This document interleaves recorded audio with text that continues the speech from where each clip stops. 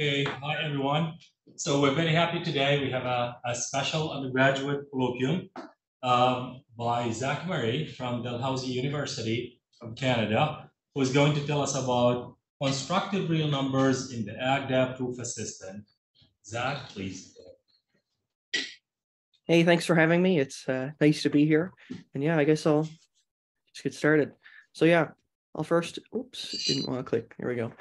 So I'll first just say a little bit about uh, constructivism. So for anybody who doesn't know much about it. So constructivism kind of started, not technically started with, but this is what early constructivism's identified with is with the Dutch topologist Brouwer's intuitionism.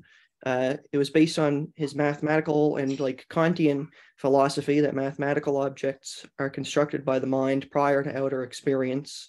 Um, so as you can tell, it's really reliant on a bunch of philosophical imports, in particular, like Kantian uh, pure intuition, in order to explain where mathematical objects come from, since they're not assumed to be out there in outer reality. Although the thing is that Brouwer's intuitionism contradicted classical analysis. So when Brouwer started doing uh, uh, mathematics on the real line, he found things like every real function that he built is actually continuous because of uh, philosophical imports that he brought in. So it wasn't considered tenable, and for a long time, constructive analysis in general just wasn't considered tenable for this reason. But modern constructivism is less about the philosophy and more about actual practical mathematics, and in our case, on a computer. And the slogan is just that for a mathematical object to exist, it has to be constructed. There's no specification uh, exactly of what constructed means at this, you know, from uh, the perspective of just basic constructivism. So different constructive theories will kind of implement a different meaning of constructive, uh, which is what we will kind of talk about later. And in particular, it's important to know that to prove that there exists some x satisfying some predicate, we need a method to find that x and a way to prove that it exists. So this means that we get laws like double negation, that not not p implies p. That's invalid. So we can't assume that as an axiom because we could just prove that there exists an x satisfying a predicate without actually providing a method to construct that x. It also means that laws like excluded middle are also false, uh, not false, but invalid uh, because it's equivalent to double negation. And also the axiom of choice is invalid because it implies excluded middle. And also, if you think about it, you know, from the from the the idea that to exist is to be constructed, the axiom of choice doesn't give you a, a method of how to construct a choice function, so it's going to be invalid anyway. So principles like that are going to be invalid. Um, there's a whole class of them. I won't go over all of them, only these ones. But this is kind of the constructivist landscape. And you might already be thinking, how is analysis going to be possible without choice principles uh, and without certain choice principles and how does that work? So we'll see that in a bit. And in order to use all these laws, you have to prove them to use them. So it's just like I just said, uh, these laws aren't false. It's just that they're not assumed as axioms. Now I'll just tell you a bit about uh, constructive logic and the interpretation that the constructive reals I'm using uh, uses of, of logic, which is called the Brouwer-Heyting-Kolmogorov interpretation. So the idea is to interpret uh, proofs kind of from constructing them from the ground up. So it's going to be P implies Q is just going to be a mapping of proofs of P to proofs of Q. And then P and Q is just a pair of proofs of P and Q. And then P or Q is just either a proof of P or a proof of, a proof of Q, along with a tag saying which one it is. Uh, existence is just a uh, exists an X such that satisfying predicate is just some element A that satisfies the predicate uh, along with a proof of the predicate. And then for all, for all is interesting and special. We'll get to that in a bit. For all is a function that maps objects X to proofs of P of X and you might know think that there's you know there's no it might be hard to explain how that looks in regular mathematics how do you define a function that maps x to p of x like that so we'll get to that in a second and then negation has been interesting in that it's a proof of p implies uh, a contradiction although i won't go over too much into that because it's not important for our purposes so that's constructive logic and now we'll talk a bit more about uh, what what it means to construct a mathematical object. So as I said before, constructivism doesn't always come with uh, a definition of what it means to construct a mathematical object or a proof. So we're going to interpret it in a programming language uh, context, and we're also it's also going to give us an idea of what mathematical objects are in this language. So the Curry-Howard correspondence says that okay, if we go ahead and try to interpret construct and what mathematical objects are from the perspective of a programming language, we're going to take the following.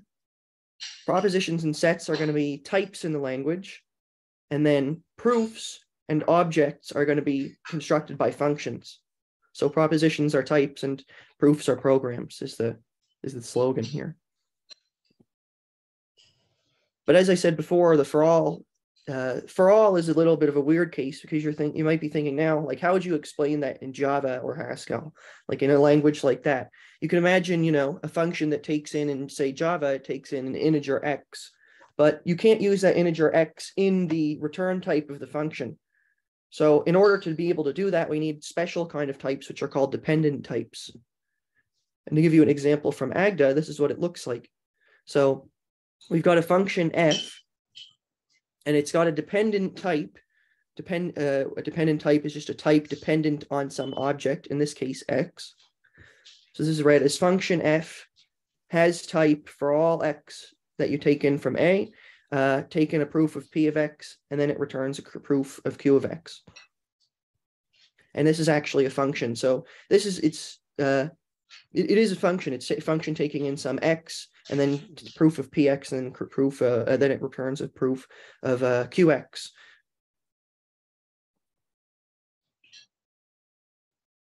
and then uh, languages that have the this property of having dependent types are called dependently typed programming languages. And then we usually use dependent types uh, for proof assistance as we're going to do here. So i'm going to introduce now the proof assistant agda.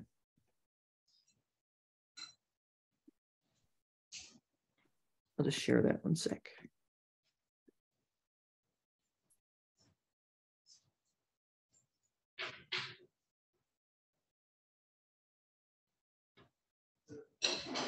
It's just loading. Yeah. Is that up? Yes, yes. Okay, perfect.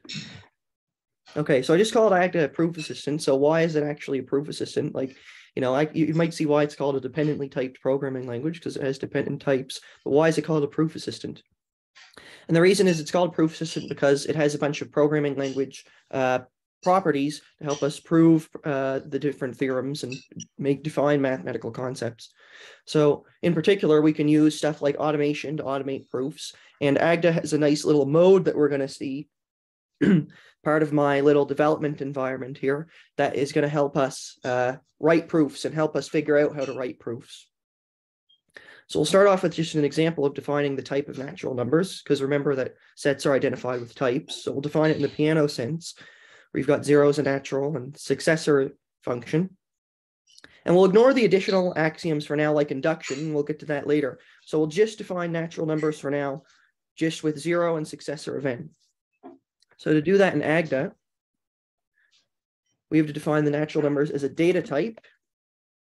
And they themselves have type set because they're a set, where they have the following elements. Zero, and then a recursive constructor, successor that takes in a natural and returns a natural. And that's that. That's how you define the naturals in AGDA. So nothing too hard to think about yet uh, or in particular with the naturals at least. So I'll just scroll down and we'll define addition now on uh, the naturals. So usually when we define addition, like using Peano, we'll define it recursively, right? So we'll define like add zero n is going to be n, and add successor of m and n will just be the successor of the addition. So we're going to do the same thing in AGDA where we define it as a recursive function. But we don't have to, first of all, we don't have to go ahead and define it using this add syntax because Agda is a really nice programming language. We can actually define functions using infix notation just in this little syntax here, like you would in classical mathematics. Um, so it's going to be a function taking in two natural numbers. And it's going to return another natural number. So when I write m plus n, I'm going to click a little button here for defining the function. And there are a couple of things. So you'll notice that this green thing has popped up. And this is part of Agda's uh, interactive uh, environment here in my Emacs editor. So this little green thing is called a hole. And we write our code in these holes and we can evaluate code here. Uh, we can test it. We can, and then we can, of course, get rid of the hole to make that our definition of whatever we're trying to write. So in particular, uh, you'll notice at the bottom of the screen now, there's something called a goal.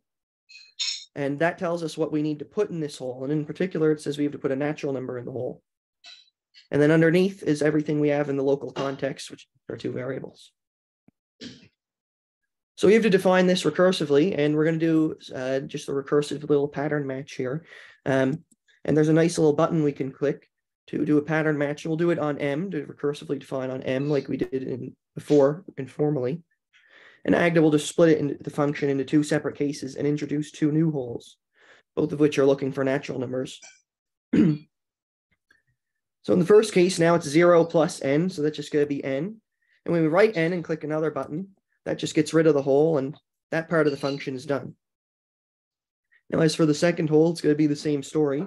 We can just write successor m plus n, and then the hole disappears, and that's the definition. So that's just the recursive definition of naturals in Agda. Nothing, nothing super surprising, but it is nice to be able to write infix notation. Okay, now on to the first proof. I'm just going to uncomment something that I need. I won't explain that. So let's go ahead and just make a really simple proof. Uh, in particular, we'll just prove that the successor of m is equal to m plus 1 uh, for all natural numbers. Now, I said before we were going to ignore the induction axiom. There's no, we didn't have to assume an induction axiom everywhere. There's no need to assume an induction axiom because when you define a data type, you're just going to use recursion on it anyway to define functions and as we just did with addition. And as I said before, uh, proofs are just given by functions. So we can just define a function that's recursive on the natural numbers and use that for induction. So I guess I'll just name the proof something like this. Suc m equals m plus one. And it's going to have the type where it takes in any natural number. And then it spits out a proof that the successor of that natural number is equal to m plus one. I'll just note something here. Okay. So you might notice, I don't know if it's hard to see on the screen in your room, but that uh, this equal sign has three bars instead of two. And the reason for that is just like in any other programming language, where equals corresponds to defining functions and things. And, you know, e and in other languages, the comparison operator is like two equal signs. But in Agda's case, it's just this three bar equal sign. Oh yeah, and I guess I should notice note something that's really, I mean, you've you've definitely already noticed this at this point, but I'm typing Unicode characters uh, in Agda with little shortcuts like the naturals is slash bn.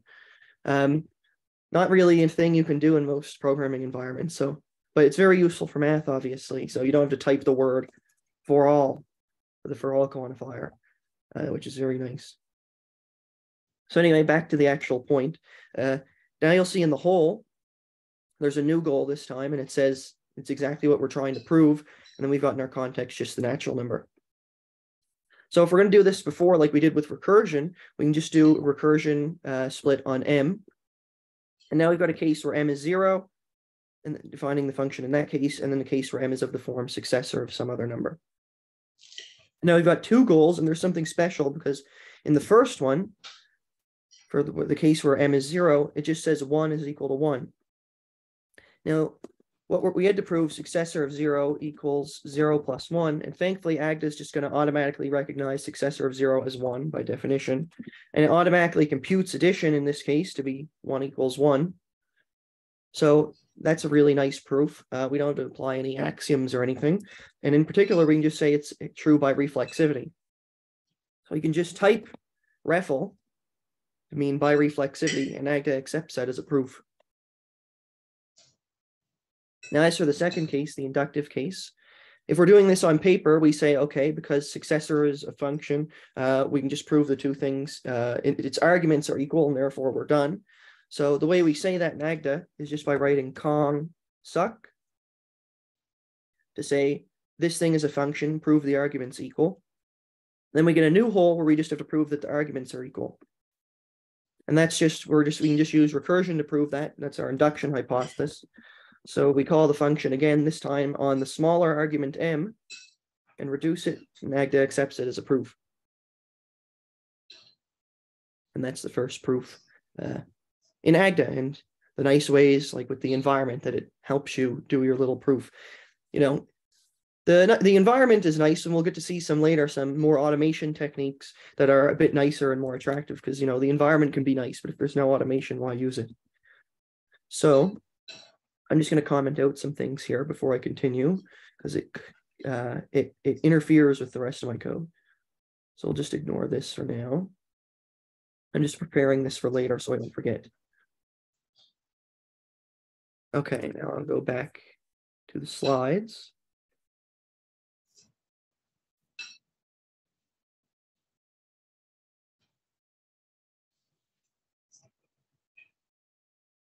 Okay, here we go.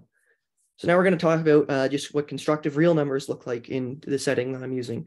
So the constructive real numbers that I'm using are made by the American analyst Eric Bishop in the late uh, in the mid 20th century. Um, following criticisms of Brouwer by Hil, uh, Hilbert actually and others like the like uh, Bertrand Russell uh, and some other philosophers. Um, sorry.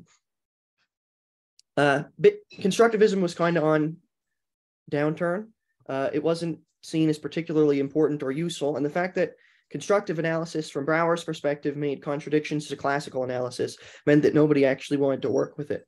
Um, so Hilbert made comments like uh, uh, in the tone that in the vein that constructive analysis just can't be done. You can't have analysis without excluded middle or without without axiom of choice. And the American analyst Eric Bishop said, no, you actually can. And he wrote an entire textbook detailing the foundations of constructive analysis, as the title goes, which we're going to follow now and see how he defines the real numbers. And it's much more agreeable to classical analysis than uh, Brouwer's so we'll start off just defining uh, something called a regular sequence instead of defining a Cauchy sequence. So a sequence of rationals is regular if for non-zero naturals m and n we have this property. And we're actually going to say that a real number will just be a regular sequence of rational numbers uh, wholesale. Okay, and then we're just going to define equality separately. So two real numbers, x and y, are going to be equal if for every natural number we have this property.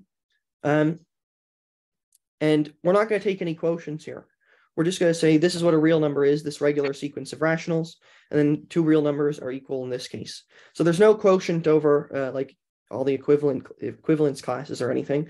Um, for two reasons. One, I'll just say is that Bishop thinks it's pointless because you can use this definition and not have to work with the equivalence classes. So why work with them? And the second reason is more interesting and is actually related to the programming language we're using and programming languages uh, dependently typed programming languages and proof assistants in general, which we'll get into a bit later.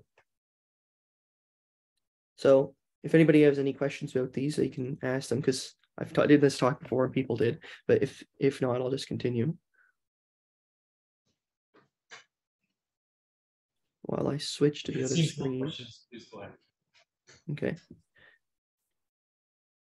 People were concerned before about how that equality is actually an equivalence relation, but maybe people aren't as uh, skeptical, uh, considering it's in the proof assistant this time. So, so anyway, um, we'll just give the definition of the reals in Agda now. So, a real number uh, in Agda is going to consist of two things. It's going to consist of the sequence of rationals, but it's also going to have a proof that the it's going to consist actually like as part of what a real number is the proof of that the sequence is regular. So usually in math, you know, if you have a set like of some sort, set of objects, uh, X satisfying some property, you don't have a, you know, objects in the set don't come with the proof that they satisfy the property. But in constructive mathematics, it's common for them to come with the proof, uh, at least implicitly. So especially in this case, that's what we're going to do. So we'll go ahead and define the uh, the type of reals. In this case, it's going to be called a record type. Um, I won't explain why. It's not very interesting.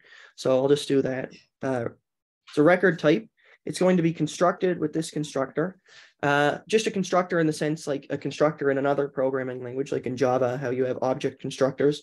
Make our here is just going to be a constructor for real numbers. And a real number is going to consist of the following fields. It's going to consist of the sequence of rationals. And then it's going to consist of a proof that it's regular. So for regularity, we have to take in two natural numbers, m and n. We also have to take in proofs that they're non-zero because our natural numbers start from zero. So I'm going to use these special brackets and I'll explain those in a second, but it's still taking in a proof that both of these natural numbers are non-zero.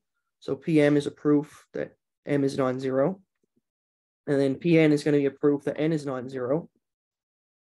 And regularity has to return a proof of that of the condition above, which we can write out as follows. Instead of writing x sub m, I have to write seq, because that's how I wrote it in the definition.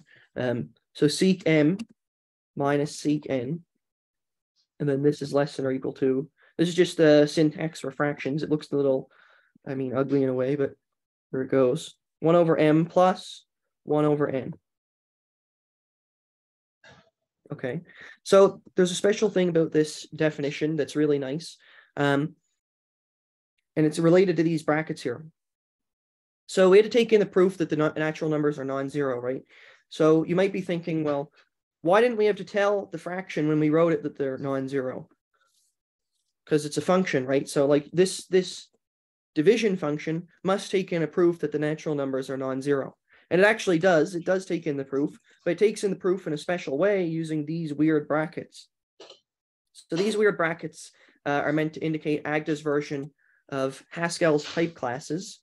Uh, and in Agda, they're called instance arguments. And basically, uh, for people who don't know what type classes are, uh, what it's going to do is it's going to, Agda is going to look in the uh, current programming context to see if it can find a proof of a property indicated by the type class brackets. And anytime it needs it, it's going to automatically and invisibly insert it where it's necessary.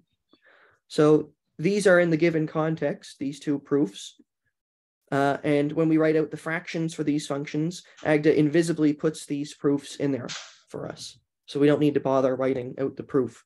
And in most cases, actually, Agda will synthesize the proof that m is non-zero uh, itself. So in simple cases where you have a natural number of the form successor of some other natural, Agda will know that it's non-zero and it will synthesize this instance argument itself without us having to do it, and it will automatically put it in for us, which is really nice. So for the most part, we don't ever have to worry. Uh, we don't usually have to worry about frac proving that fractions are non-zero. ACT is very smart and automates it for us. So that's a nice feature of automation from the programming languages perspective. Okay, so that's the real numbers. Uh, and now we'll just define what equality looks like on reals. I do that, I'd uncomment something else. This is just making the, this open statement is just making the fields of the real numbers accessible to me. So, okay, now we have to define equality. So equality itself is going to be a type and it's going to return, it's going to take in two real numbers and then output the type of all proofs that those two real numbers are equal. So um, I don't know, maybe people have questions. If anybody knows any Agda, they'll have questions why I define equality as a data type instead of in a different way afterwards, but I'll, I'll ignore that for now. So quality is going to be a data type. And again, we're using a different symbol, this time in equals, you know, a, a squiggly line equals, uh, to not contradict and get in, to not overrun the three line equals. The three line equals has a bit more of a special definition as inequality. So this is just going to be a real number equality. It, it's, go, uh, it's going to need to take in two real numbers and it outputs the type of all proofs that they're equal.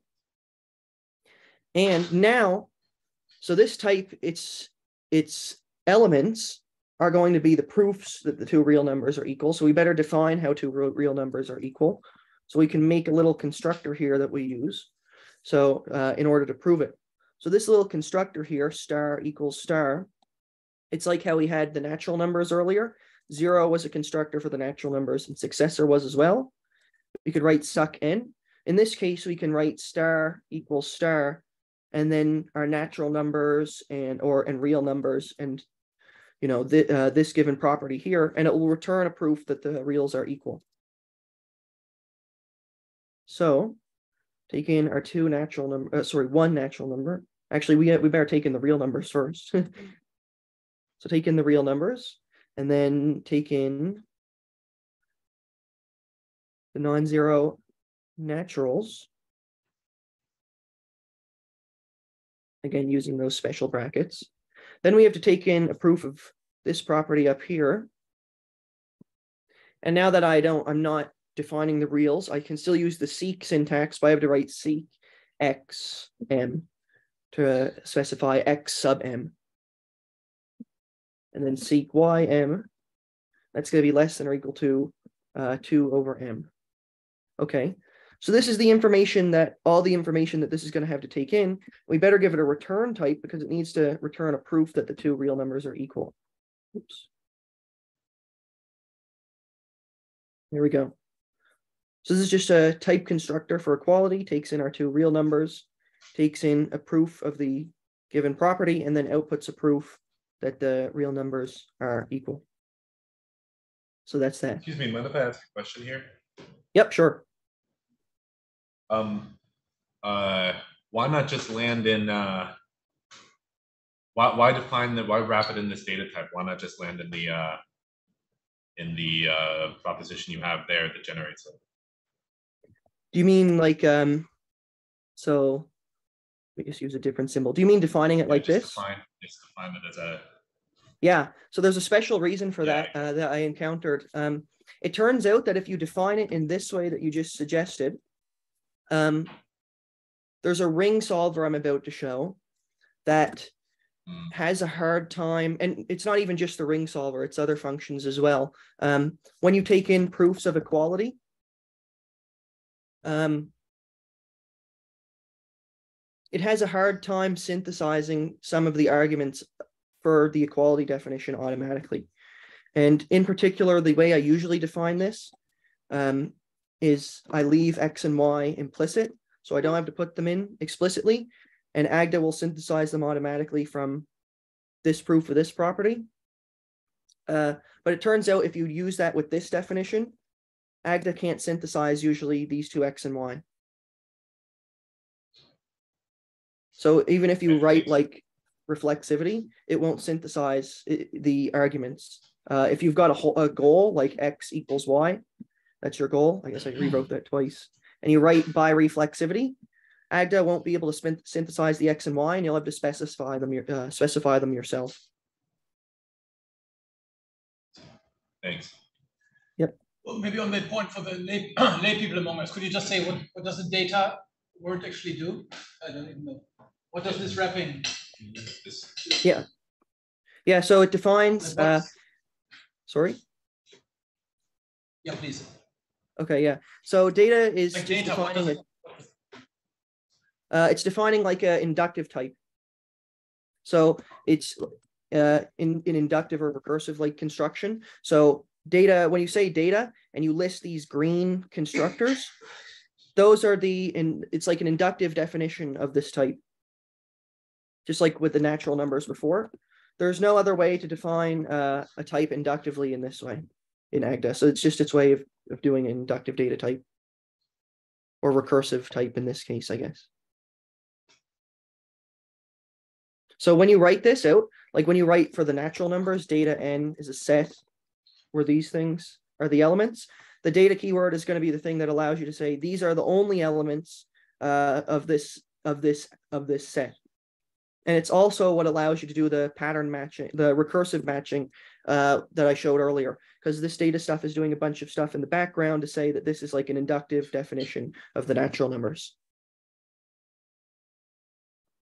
Does that answer your question? Yeah, I guess so. So putting data here around this function says, okay, let's define this function as an inductive type. Just for the. Yeah. Yep. All right. thanks. Okay. Is there any uh, any more questions? Okay, I'll continue. Uh, I have Yeah. another question. Aren't X and Y bound in the, in the heading of the data type? Are you getting, Yes. are you, aren't you getting a new X and Y down here? Yeah, yeah, you're right. Um, I guess I could have put it up here. I just didn't put it up here out of uh just that's the style I've been doing. So I, I didn't I don't think I guess I didn't need to bind it. I just did it for uh just because that's the style I'm used to. Yeah. It does make it look a little weird, I guess. Yeah. So there, yeah, it- it's just this is saying take in. Yeah, it's just That's it, it is a weird right-hand syntax. yeah. At, at the top, it's because it's on the right-hand side of the colon. That's why it's not, they're not, the names aren't bound on the interior. Is that right? Oh yes, that's correct. Yeah, sorry. You could leave the. Yeah, it's a weird syntax, and you it feels like it should be bound, but it's not. So, but yeah. So for that matter, uh, I guess I'll get now onto addition. So I'll ignore that for now. So um, let me get rid of this. We'll go through it. So to define addition on reals in Bishop sense uh, is going to be decently similar to the Cauchy style definition, except for the sequence. So for x plus y, uh, for that sequence, we're just going to sum every second element. And now we're just going to prove that it's regular. And this is a pretty simple proof, right? So like if you need to prove that it's regular, you need to prove x2m plus y2m minus x2n plus y2n. You know, you just need to show that that's less than or equal to 1 over m plus 1 over n, right? And that's a simple enough proof, but I'll write it out anyway because we're going to compare this to what it looks like in AGDA uh, and see some uh, some tools that can help us. So if we're writing this out, the obvious step to take is just rearrange this because what's on the inside.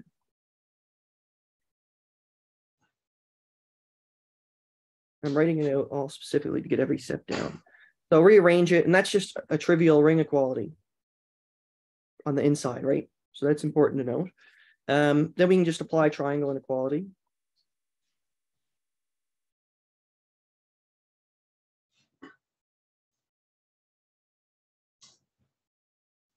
Okay, and then just the proof that since x and y are each regular, so we can apply that on the argument 2m. We get 2m inverse plus 2n inverse plus the same thing again.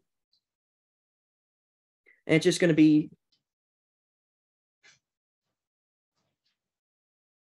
it's just going to be the sum of halves, so it's just going to be equal to mn m inverse plus n inverse, and that's the proof. So it's a simple proof, obviously. Um, but you know, when we write this proof, it's nice to write it in this little equational format with the proof on the the reason why on the side. It's pretty readable, so there it better be equally readable in AGDA, right? And it actually is. So we'll just get to the definition quick. I've got this written out already because it would take too long to write in AGDA otherwise. But let's see. So we'll ignore the proof for now, and we'll just focus on the definition. So I'll note a couple of things. Um, sorry, just this is just getting in the way. There we go. So I'm defining addition using a, a different symbol now. So like R plus instead of just plus. You can use the instance arguments in AGDA to just write plus. Um, I just didn't want to go through the hassle of setting it up in this case. So plus, the plus that I'm actually using is just the rational number plus. Um, and I didn't, I just didn't want to go through the hassle of setting it up so that plus can refer to do two different things, uh, just for the sake of the talk. So that's that. um, but yeah, so it's simple enough. Uh, we just define the real number, the new real number for x plus y on its field. So on the sequence field, and then on the regularity field below. So for the sequence, we can just access it as you'd expect. It's not particularly surprising. The regularity, on the other hand, is a bit more interesting. So I've got to, okay, I'm going to note something here. The stuff that appears up here, you can ignore. Um, if anybody has any questions about any particular details of it, ask after I give the proof. Um, if you're like in, in into AGDA, um, and I'll explain a couple of the things of it. But the main th goal is just to make the syntax more readable. Uh, so you know it's easier to read the proof, right? So to look at the proof, then this is what it's going to look like. I write begin and it gives me this nice syntax to write in equational format. So in particular, the way you'll read this is that this thing here, we're saying is equal to the next thing for the reason given in this hole. So I'll, I'll say that again because I mixed it up a little bit. This thing here is equal to, for the reason given in this hole, uh, the thing on the next line.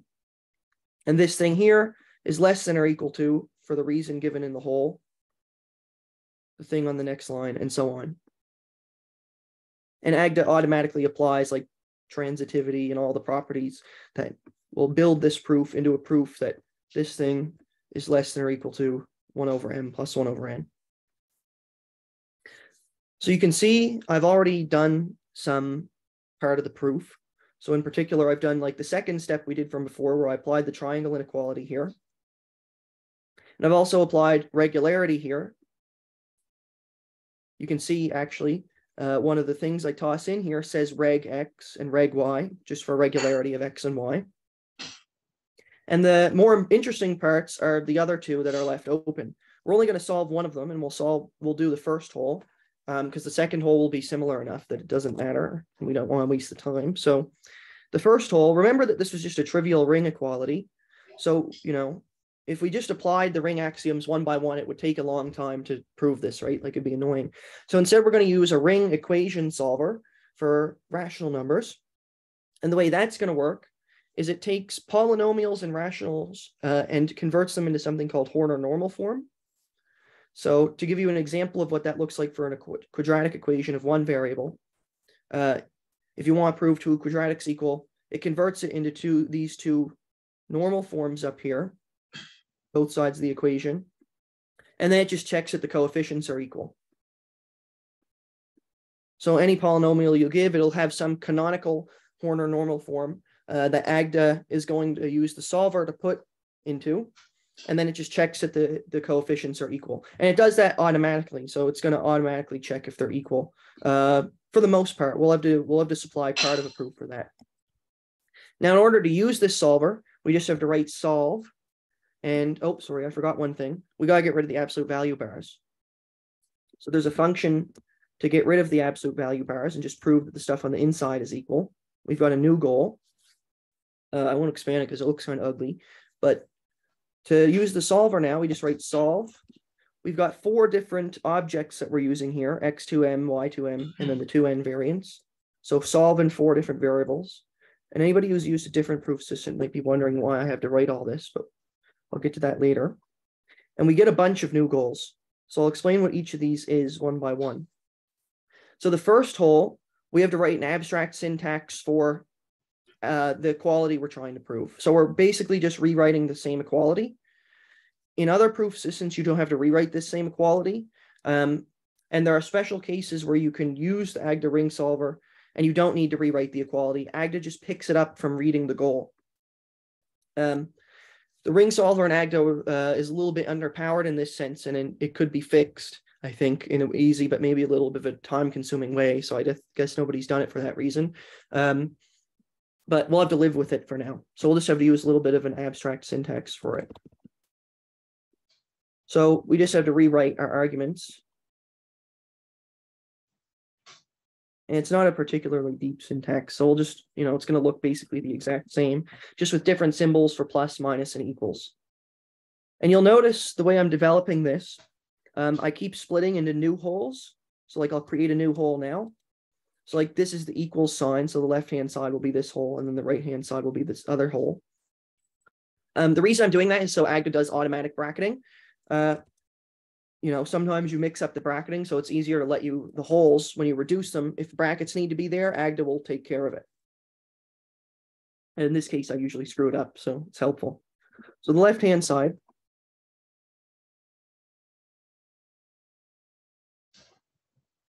there we go and the right hand side. Oops.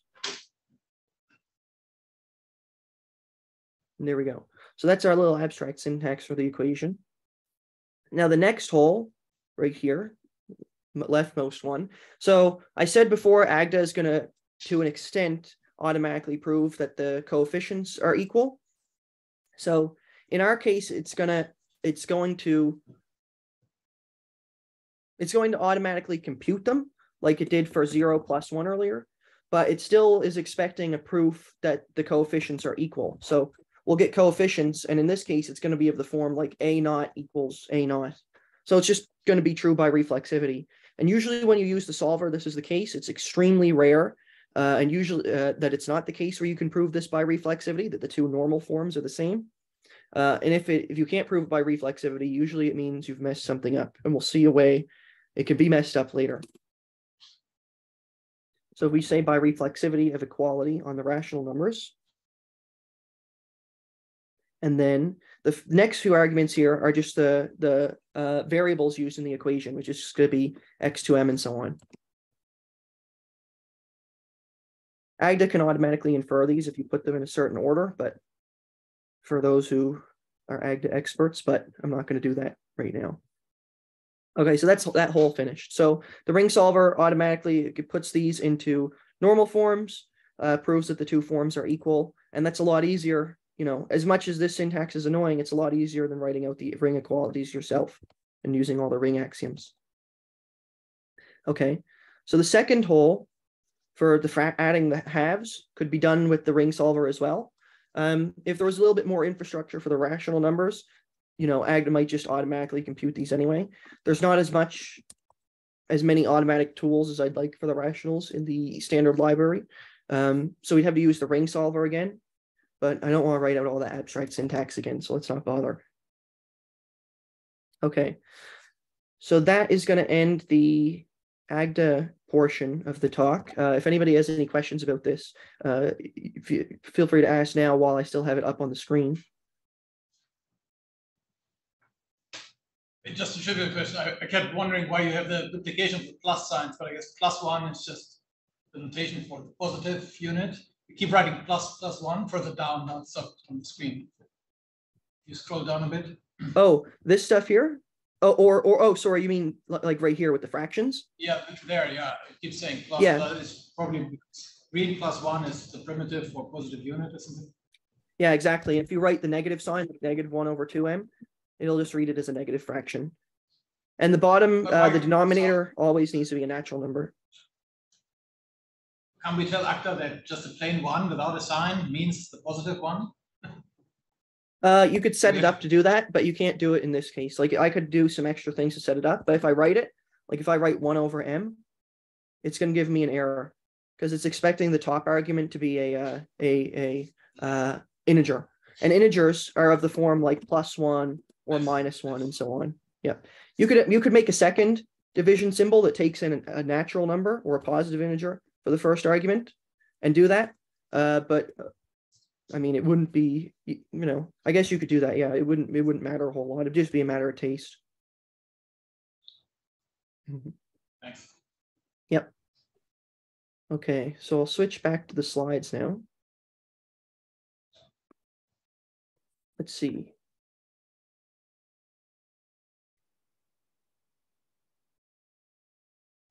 Okay, so now I'll just talk a little bit about some properties of uh, Bishop's real numbers, because you might be wondering why did I implement these ones instead of other real numbers? Like if you know anything about constructive math, why didn't I implement implement Black Brouwer's? Well, I guess maybe that's obvious because it contradicts classical analysis, but why not like the homotopy type theory of reals or something? So I'll just say Bishop's reals satisfy the following properties. They satisfy our Archimedean property and density and all that basic stuff. They also satisfy uncountability. Um, interestingly, if you have any ex- expertise about real numbers, uh, like about like uh, constructive reals, you'll know that uncountability requires the axiom of countable choice, which is just a variant of the axiom of choice. It turns out that in Bishop's system and in Agda in particular, uh, countable choice is a theorem. You can actually prove it uh, using, and it's it's a really trivial proof basically. Um, if anybody's interested, I'll give it after in Agda, but it's you know it's not very interesting basically. So it's actually provable uh, because of our interpretation of logic and what exists means. But the axiom of choice, you know, you might wonder if the axiom of choice is provable. Uh, there's a there's an interesting subtlety there. If anybody's interested, I'll I'll they can ask about it afterwards, and I can explain why it's not provable. But yeah, so uncountability holds, and Cauchy completeness also holds. Uh, you know, um, all Cauchy sequences converge to a real number. And they're also equivalent to Dedekind cuts, which also requires uh, the axiom of countable choice. But there's a bunch of results from classical analysis that are just too strong to prove, like the least upper bound property. So the reals aren't complete in the sense that the least upper bound property holds. Uh, it doesn't hold, it's just not provable. It's not false, but it's not provable. And then the intermediate value theorem is also invalid. It uh, so it's not provable. But these each have weaker constructive variants. So there's a weaker version of the least upper bound property that's constructive and constructively provable, and a weaker version of intermediate value theorem. And in general, for a lot of classical theorems, you can prove a weaker constructive variant that to some extent captures the essence of what the theorem was trying to get at anyway. But it's just, you know, it's usually just a little harder to use than the original theorem. With all this in mind, you'll note that I haven't said there's any contradictions. And that's because Bishop's system is actually consistent with classical analysis, unlike Brouwer's system. And unlike other systems in particular that I didn't use, so I didn't use, um, well, first of all, no, it being consistent with classical analysis means that people could use my library for classical analysis if they wanted to. Um, so that was a good design. I think that was a decent design decision. Um, as for other libraries of reals, other po- sorry, other kinds of reals, um, there's the Russian constructivist reals, uh, where I might be getting this mixed up. I'll just say the computable reals. So if you have real numbers that are based on computable functions, you could use those. But the problem with those is that the real numbers there are uh, countable because there's only countably many Turing machines and thus only countably many computable functions and thus countably many reals, right? Um, what are some other examples? So the homotopy type theory reals, I didn't use those because the version of AGDA I'm working in uh, is not built for homotopy type theory. There's another version of AGDA called cubical AGDA that's meant for homotopy type theory. I didn't learn it, so I just went with this. Okay, so that's that on the real number front. Um, oh, and I guess I'll, sorry before I continue, I'll note uh, the homotopy type theory reals also have some um, differences between Bishop's reals in terms of properties. So I'm not an expert in homotopy type theory, so I might, if any any experts are in the room, they might need to correct me. I don't think they're equivalent to the de- to the Dedekind cut construction. Uh, I don't think the HoTT reals construction is has an equivalent Dedekind con- cut construction without countable choice. Um, I think there's a couple of other weird differences, but you know maybe in practice they're not that weird. So that's you know those are the reasons, along with the fact I'm using standard AGDA, I didn't do the HoTT reals. Okay, so with the real numbers out of the way, I'll just talk now about some uh, some other problems with AGDA that are kind of in the background and in the background of proof assistants based on programming languages in general. Uh, some problems that I that I face and that others will face to give an idea of what it's like to use a programming language for mathematics. Just check the time. Okay, good. So there's this property of AGDA and of these kind of programming languages in general called canonicity, where every object can be reduced to a canonical form. So to give you an example, every natural number reduces to zero or successor of n or some other natural. And AGDA will automatically compute them, right? So this is a really useful property for proofs by mere computation, like we did before with successor of m equals zero, m plus one. You know, we had successor of zero is one, and then zero plus one automatically computed to one. And for another example, it's like three plus one times four equals two to the four. Imagine having to use axioms or something in order to prove this, you know, you just compute it and AGDA automatically computes it. And, you know, you can just say by reflexivity, they're both 16, no problem. But if we didn't, if we weren't able to compute one of the sides to some sort of canonical form, or maybe it didn't have a canonical form, computed to something different, you know, how would we actually prove this? You probably need some sort of axioms or maybe a really long proof. Like imagine if three plus one didn't automatically compute to four, it'd be kind of weird. Imagine if you just swap the order around first to one plus three. It'd be really strange, right? And there are actually examples where this does happen in practical mathematics. So let's go ahead and talk about how axioms actually break this canonicity property. So let's just define a piecewise uh, function from the reals to the naturals in this way. It just checks if the given real number is zero or not. Return zero or one correspondingly. Well, equality on R is undecidable. So you can, you know, there's no algorithm to decide for a given real number whether or not it's zero. Uh, so in order to pr to prove that any given real number is either zero or non-zero, you need to invoke excluded middle. So you need it in order to define this function. But then you're not going to be able to decide which which uh, element x is equal to. Is it equal to zero or is it equal to one? Excluded middle doesn't tell you, it just tells you it's equal to one of them. So you'll get in the case where f of x is not the form zero or one, suc of some other natural. It's just when you write it in AGDA even, it just goes to f of x and that's it. It doesn't actually compute to anything. So if you've got any functions like we did before, the proof where suc m equals uh, m plus one, um, Agda will just put suc f of x equals f of x plus one. And you know, you can't do a proof like that. You can't compute f of x. So that proof itself is not going to compute anything. It won't give us the actual, it won't give us reflexivity and it won't give us the recursive case because it can't tell which one to choose. So if you use excluded middle or axioms in general in this way, uh, when you add in an axiom for to substitute some sort of computation, you break canonicity and you get weird functions of this sort. And this actually comes into play with the, the ring solver as well. So recall like how the ring solver works. It puts it into this normal form and you have to check if the coefficients are equal. Now, the thing is, is if you have undecidable equality for the coefficients, for the real numbers, for example, then the ring solver can't tell how to prove that these are equal. So you need to provide some sort of strong extra proof that they're equal. You can't just say, oh, hey, they, they're the same normal form. Agda's computed them. You know, use decidable equality to prove that it's equal.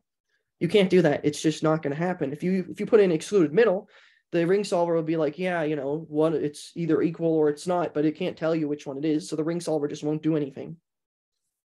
Now, you might think there's no ring solver then for the real numbers, at least with the reals as the coefficients, and you're right. Um, but if you just use a ring with decidable equality for the coefficients, like the rational numbers, for example, you know, you can tell whether or not two fractions are equal with no problem, uh, then it doesn't matter. And you can use treat all the other real number terms as um, as uh, just variables in the polynomial, and you can specify to the ring solver how to choose which rationals that have been turned into reals to use as coefficients, which is a really convenient uh, tool that helps in some cases. And then we're going to talk about this is one other thing I noted before. We didn't use quotient sets in defining the real numbers. And I said before, and this is the historical reason Bishop has for doing it, is that Bishop thinks there's no need to. Like he just he defined real numbers perfectly fine without using equivalence classes. But it turns out that in in programming languages like Agda, it's hard to actually give a description of what a quotient set or quotient type is without axioms and then without breaking canonicity. So for that reason, AGDA avoids giving a definition of what quotient types are, at least in standard AGDA. Okay, so what does that mean for users of proof assistants, of even other proof assistants or of AGDA with this canonicity problem? Like how does this, is this only a problem in AGDA or do, how do other proof assistants deal with it? And how do we deal with it? So in the Lean proof assistant, which is also a dependently typed language, they don't care. They use classical axioms. They use quotient sets that are axiomatized. They do all this classical mathematics with axioms, and it's still hugely successful. Lean has an absolutely massive standard library. Uh, it's getting a new version soon. It's, you know, people love using the axioms. It's no problem. Uh, their ideology is that, you know, if you ever need to worry about computing something to a canonical form, then you just better make sure that everything that you're using in defining the function you're making, uh, don't use any axioms, and that's it. And as someone who has some experience doing some proofs in Lean for a few months on uh, some research, um, this is kind of a blessing and a curse because it's nice that you know the act the classical axioms are nice. I get to use axiom of choice, But there are times where you define some sort of structure that gets wrapped in some sort of API. And then when you try to access that structure using the API, Lean will give you an error that says you can't access this structure because the accessor function is using the axiom of choice to prove that it exists. So I end up getting cases where I just define something that I was really happy to use, and now Lean says no. Axi- this when you try to use it, we're invoking the axiom of choice. You can't use it. Now this is kind of frustrating, and you know it can be frustrating to get around this, but the benefit is that you get classical axioms. So it's a trade-off, right? But even still, in my own library, I've had to worry about taking this trade-off to an extent for performance reasons. So consider the case, if you have theorems, you know, usually we don't care about what the proof of a theorem looks like. We usually only care what the statement is. So why waste time computing the proof of the theorem if we if you don't care about it? The example I have is the Archimedean property. The Archimedean property in my library takes forever to compute anything. Like it takes forever to give you the natural number it returns. So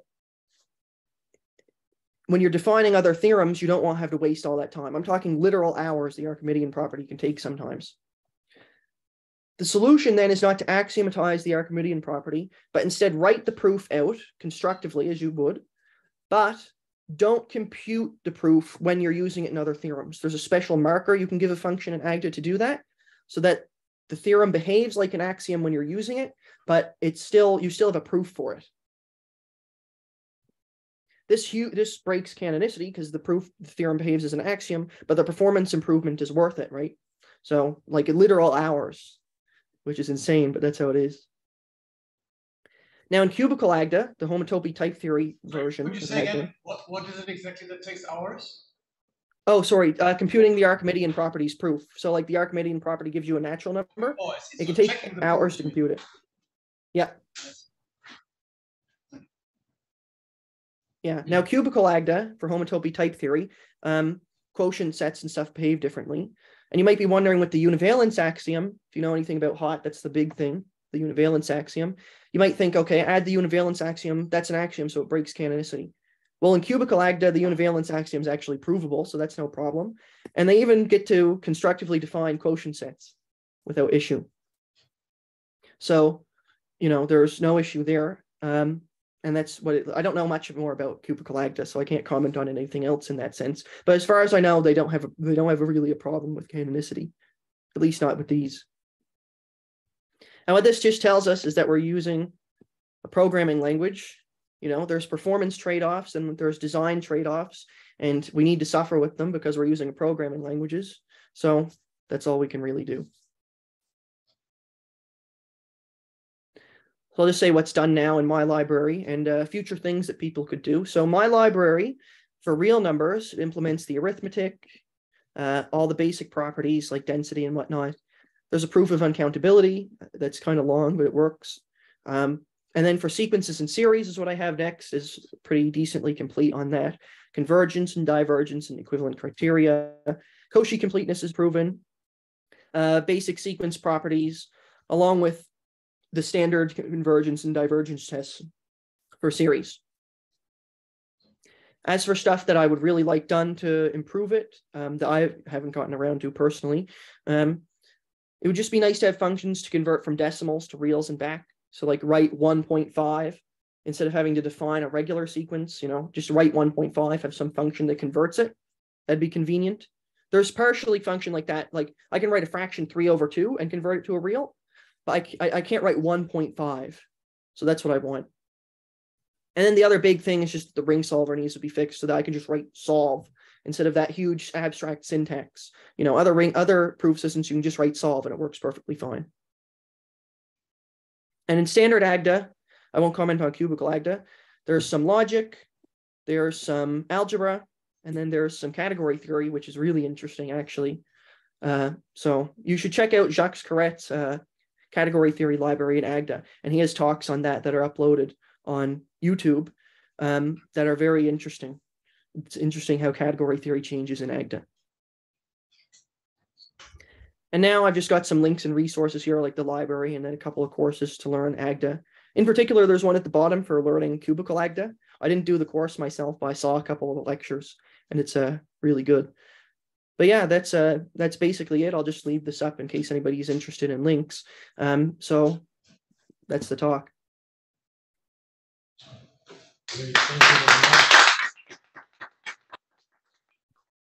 Any questions for Zach? Hey, Zach, I wonder if I could ask you a few questions about that slide where you talked about the pros and cons of the bishop style reals. Yep. Okay, here we go. So there's a few, there's a few things uh, that, that uh, seem, seem weird to me here. Um, namely Cauchy completeness and the equivalence to Dedekind cuts. So I was wondering if you could explain, so Cauchy completeness, I guess that comes from the fact that you don't take quotients, right? But you also said that you get um, you get the countable axiom of choice for free. I wonder if you could talk about that. Yeah, sure. Yeah, And then I'll ask another one about the cuts. Yeah. So first I'll note the Cauchy completeness isn't exactly about the I guess to some extent, yeah, it is about the lack of quotients. Um, the definition that we gave of Bishop's reals are is equivalent using choice to the Cauchy definition of reals. Um, but the definition of reals that Bishop gave as regular sequences, that property is very important for proving uh, Cauchy completeness in Bishop's system. The particular bounds he gives, one over m plus one over n is useful. Uh, so that's that's the key there. As for the axiom of choice, of countable choice, I'll I'll go into that. That's a fun one. So let me bring up Agda again. So I'll just wait for this to load. Okay, so this is fun. Um, so axiom of countable choice, its statement is that, you know, if you have a function, sorry, from naturals to the naturals, and you have a proof I'll just go into that. Hold on. Take a little while to type. That for all, uh, so I guess it shouldn't be a function. It should be a relation. Um, I don't have the syntax right now for relation, actually. I don't remember what part of the library it's in. But anyway, the basic idea is that I'll write out the, the statement. So axiom, axiom accountable choices, you know, you have a relation, and then for all your natural numbers, uh, if x is related to y, then you can make a function f from n to n. So, you know, uh, the f of, I think I'm miswriting some all things here. there exists a Y. Yeah, yeah.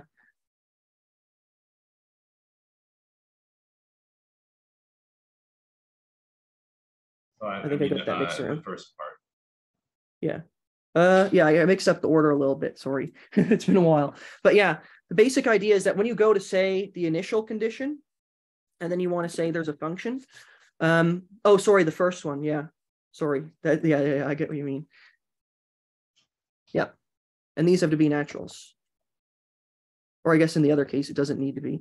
Uh, then you can get your function f from like n to some a, uh, such that for all, what is it? Yeah, I'm not going to give the exact statement. Um, but the basic idea is that when you give this initial statement here, uh, this is defining a function already by the meaning of existence. So like when you say this, when you say for all, that's defining a function from the natural numbers.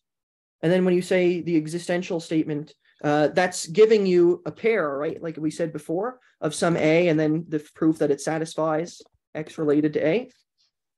So you've already got this particular A chosen in the meaning of existence. So you can, when you're defining the function, uh, you can define the function just by taking this particular A.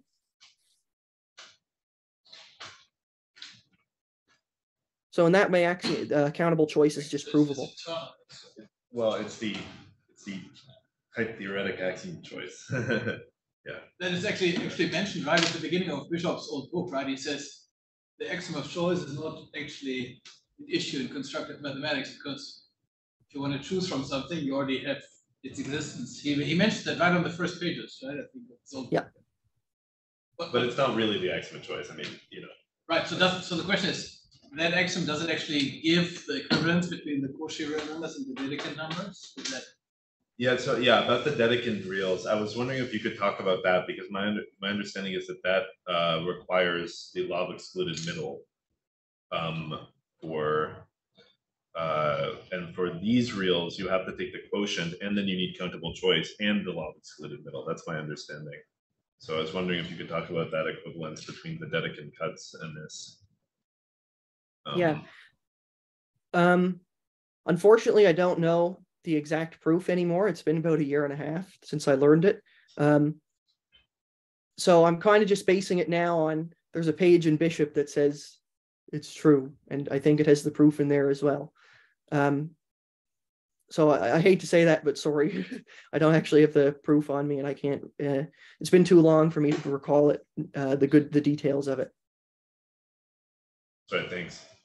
Let me actually ask, what, so I'm not, I don't think we necessarily need them to be equivalent. What would be really useful is to have the map from the Cauchy reals, because they, they are what we will probably construct in practice. Like in practice, most real numbers we have are given by sequences, but then we may want to regard them as Dedekind fields. So what would be interesting maybe would just be to have the construction of the Dedekind reals in Agda, say, and the comparison map from Cauchy to Dedekind. Sorry? You just say there is a number after which all of I know, I know, but I, I wanna, I'm, I'm going after doing it in Agda. I know, but, Uh, so I'm wondering what is the prospect of having that in the Uh. I haven't done it myself, but I think in other proof assistants, I don't know if they did this in Coq. Um, I know Coq initially axiomatized the real numbers, and then they they made instances of the reals. Um, but it works a little bit differently now. They've got actually constructive reals in there. So I haven't done it myself. I think in other proof systems maybe it exists. Um, but I just haven't done it myself because it wasn't something I was interested in, to be honest. But if it, if somebody wanted to add it, that'd be fine.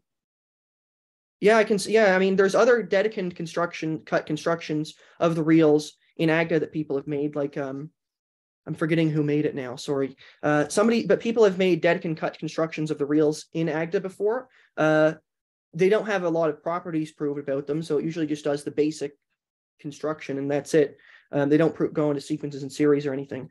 So, but yeah, there are Dedekind cuts in Agda, and the definition is reasonably short. Like it's a pretty decent, you know, it's it's it's a, it's a nice size. Like it's not massive or anything. So I think it would be reasonably easy to put them into this library as well. That's interesting. Okay, any other questions? Okay, If not, let's thank Zach again for the very nice talk. Thank you,